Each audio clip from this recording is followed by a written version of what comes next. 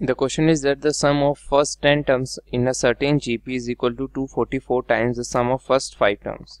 तो हमें कोई भी एक GP गिवन है A into AR till A of R raised to power n minus में वन ठीक है तो हमें यहाँ पे गिवन है कि first n terms first ten terms का जो सम है वो GP का वो इक्वल टू है टू फोर्टी फोर ठीक है तो सम क्या होता है एस ऑफ़ एन ये हमारे पास होता है ए इंटू में r is to power n minus one upon में आर माइनस में वन तो एस ऑफ़ टेन अगर हम यहाँ से निकाले तो ये क्या होगा? ए इंटू में r is to power nine r is to power ten minus one upon में आर माइनस वन ठीक है? और हमें ये बने कि ये जो इक्वल है, ये हमारे पास जो सम है S of ten is it is equal to two forty four times S of five ठीक है? तो इसको इक्वल करेंगे।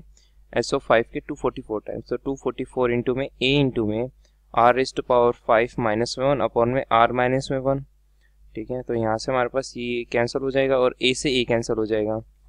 ठीक है? तो यहाँ क्या बचेगा हमारे पास अब? R is to power ten minus one equals to two forty four times into में r is to power five minus two forty four तो यहाँ से हमारे पास क्या आ जाएगा अब?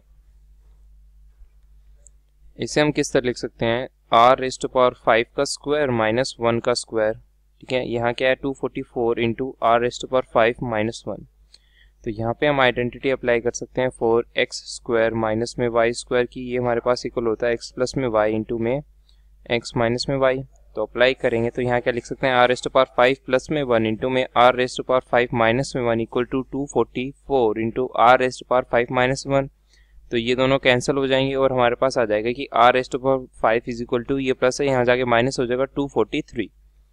तो ये हमारे पास इक्वल आ जाएगा। अब टू फोर्टी थ्री को लिख सकते हैं, three raise to power five. ठीक है तो आर की वैल्यू क्या आ गई हमारे पास? कॉमन रेशो की that is equal to three so three is the correct answer option and first option हमारा करेक्ट है।